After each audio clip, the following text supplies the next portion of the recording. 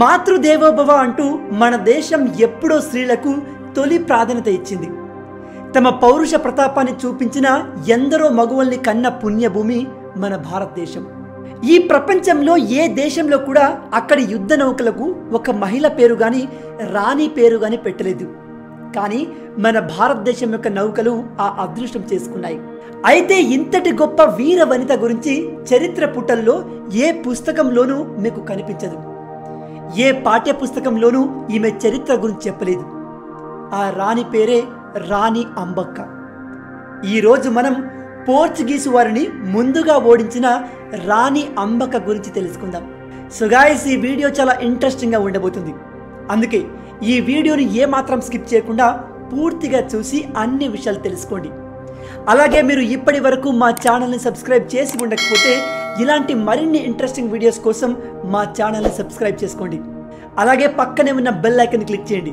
దాంతో మేము చేసే ప్రతి వీడియో నోటిఫికేషన్ మీకు వెంటనే వచ్చేస్తుంది.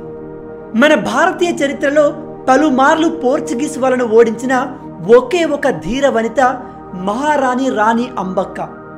ఆమె ధైర్యంలో వీరత్వంలో రాణి లక్ష్మీబాయి రాణి రుద్రమదేవికి మరియు రాణి దుర్గావతికి సరి సమానమైన వ్యక్తి. అయితే ఈ రాణి చరిత్ర గురించి ఏ పుస్తకంలోనూ మీకు కనిపించదు. మాతృదేశం కోసం తన ప్రాణాలే త్యాగం చేసిన ధీర వనిత రాణి అంబక్క. అయితే ఈ వీర వనిత ప్రస్తావన అతి తక్కువగా వినిపిస్తుంది. మాతృదేశం కోసం తన ప్రాణాలే త్యాగం చేసిన ధీర వనిత రాణి అంబక్క. పోర్చుగీస్ చరిత్రలోనే ఒక మరిచిపోలేని ఘట్టం రాణి అంబక్క.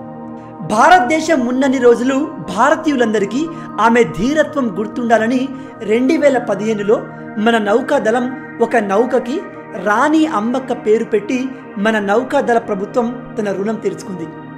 ఏడవ శతాబ్దం నుంచే మన భారతదేశానికి అరేబియన్ దేశాలకు మధ్య వాణిజ్య సంబంధాలు ఉండేవి. యుద్ధ గుర్రాలు మసాలా దినుసులు బట్టల వ్యాపారం జరిగేది. అప్పటికి చాలా యూరోపియన్ దేశాలు మన భారతదేశానికి సముద్ర మార్గాన్ని కనిపెట్టే పనిలో నిమగ్నమై ఉన్నాయి.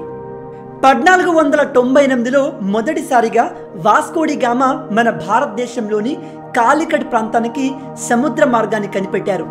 దీంతో యూరప్ దేశాల్లో ఒకటైన పోర్చుగీస్ భారతదేశంలోకి వ్యాపార నిమిత్తం అడుగుపెట్టింది. అనంతరం వ్యాపార విస్తరణపై దృష్టి పెట్టి వివిధ దేశాలను కలుపుతూ అనేక నౌకాశ్రయాలు కట్టారు. మన దేశంతో సహా మస్కట్ మొజంబిక్ శ్రీలంక ఇండోనేషియాతో పాటు చైనాలో ఉన్న మకావును కలుపుతూ సముద్ర మార్గాన్ని నిర్మించారు. అలా మెల్లమెల్లగా తమ వ్యాపార కార్యకలాపాలు పెంచుకుంటూ ఇరవై ఏళ్ళలో పోర్చుగీసు వారు ఈ సముద్ర మార్గాన్ని తమ ఆధీనంలోకి తెచ్చుకున్నారు. అయితే అంతవరకు భారతీయులకు అరబ్బులకు పర్షియన్ ఆఫ్రికన్ దేశాలకు హిందూ మహాసముద్రం అరేబియా సముద్రంలో రవాణా ఉచితంగా ఉండేవి. అయితే సముద్ర మార్గంలో పోర్చుగీసు వారి ఆధిపత్యం ఎప్పుడైతే పెరిగిందో అప్పటి నుంచి సముద్ర రవాణా చేయాలంటే పర్మిషన్ తీసుకోవాలని రుసుములు కట్టాలని వాళ్ళు వసూలు చేయడం మొదలుపెట్టారు. తమకు స్థానికంగా ఎదురు తిరిగిన రాజులను ఓడించి పోర్చుగీసు వారు ఆ మార్గాన్ని సొంతం చేసుకున్నారు. పదిహేను వందల ఇరవై ఆరులో పోర్చుగీస్ వారు మంగళూరు పోర్టును ఆక్రమించి తర్వాత వారి దృష్టి తదుపరి లక్ష్యంగా ఉన్న ఉల్లాలా పోర్టు పైన పడింది. ఈ ప్రాంతం మూడవ చౌతరాజు తిరుమలరాయ రాజధాని. వీరి మొదట జైన్ రాజులు. రెండవ శతాబ్దంలో గుజరాత్ నుంచి వలస వచ్చారు. మాతృస్వామ్య వ్యవస్థ కలిగిన రాజవంశీయులు. ఈ రాజు యొక్క మేనకోడలే రాణి అంబక్క. రాజు తిరుమల రాయ అంబక్కను దత్తత తీసుకుని రాజ్యానికి రాణిగా ప్రకటించాడు. ఆమెకు పూర్తి స్వేచ్ఛ ఇవ్వడమే కాదు కత్తి యుద్ధం విల్లు విద్య సైనిక వ్యూహం దౌత్యపరమైన అన్ని విద్యల్లో చిన్నప్పటి నుంచే తర్ఫీదు ఇచ్చారు. దీంతో ఆమె పాలనలో యుద్ధ విద్యల్లో మగవారితో సమానంగా ఉండేది. అంబక్క రాజసింహాసనం ఎక్కిన నాటి నుంచే రాజ్యానికి పోర్చుగీస్ నుంచి ముప్పు ఉందని తెలుసు.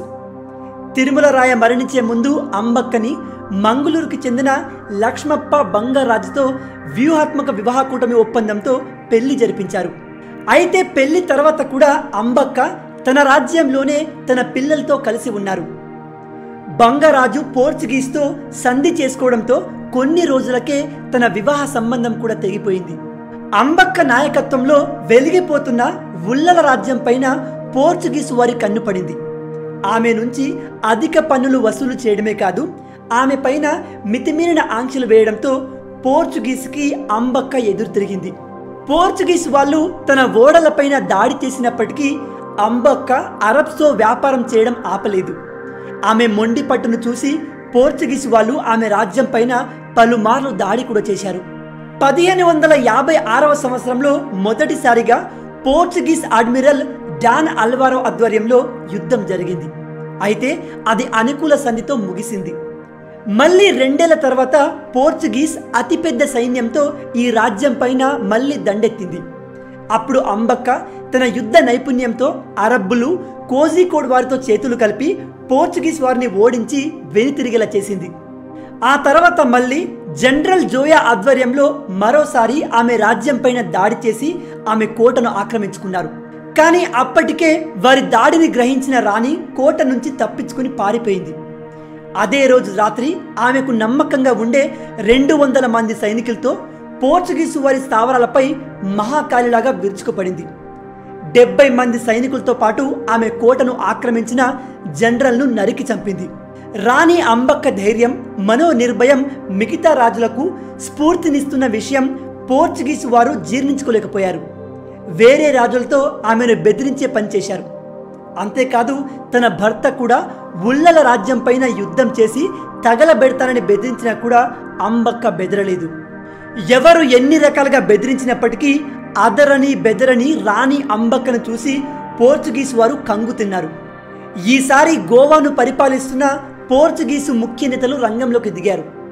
పదిహేను వందల డెబ్బై ఒకటి సంవత్సరంలో మూడు వేల మంది పోర్చుగీస్ సైన్యంతో ఉల్లలపైన మెరుపు దాడి చేశారు. రాణి అంబక్క తన కులదైవాన్ని దర్శనం చేసుకుని కోటకు బయలుదేరి వస్తుంది. ఈ విషయం తెలిసిన వెంటనే తన గుర్రాన్ని యుద్ధ రంగం వైపుకు తిప్పింది. అటు నేలపైన సముద్రంలోనూ యుద్ధం భీకరంగా సాగింది. అంబక్క పరక్రమ ధాటికి పోర్చుగీస్ సైన్యం పారిపోయింది. అటు పిమ్మట ఒడ్డుపైన ఉన్న తన సైన్యంతో అగ్ని బాణాలు వేస్తూ పోర్చుగీస్ సైన్యాన్ని మట్టుబెట్టింది. అయితే యుద్ధంలో గాయపడిన రాణి అంబక్కను ఎలాగైనా చంపాలని పోర్చుగీసు వారు సామంతుల రాజులకు డబ్బులు ఎరగా వేసి ఆమె పైకి యుద్ధానికి పంపారు. కానీ అసలు భయమంటే ఎరగని రాణి అంబక్క తనకు గాయాలైనప్పటికీ ఏమాత్రం లెక్క చేయకుండా యుద్ధం చేస్తూ కథన రంగంలో కన్ను మూసింది. వీరనారిగా చరిత్రలో నిలిచిపోయింది. మీలో ఎంతమందికి వీరనారి రాణి అంబక గురించి ఇంతకు ముందే తెలుసు? మీకు ఆల్రెడీ తెలిస్తే కింద కమెంట్లో ఎస్ అని టైప్ చేయండి. ఒకవేళ మీకు ఇంతకు ముందు తెలియకపోతే ఈ వీడియోని షేర్ చేసి అందరికీ తెలిసేలా చేయండి. మొత్తంగా ఇవి ఈ వీడియోకి సంబంధించిన పూర్తి విషయాలు. రాబోయే వీడియోలో ఇంకో ఇంట్రెస్టింగ్ టాపిక్తో మళ్ళీ కలుద్దాం. Until then signing off please subscribe to Telugu stop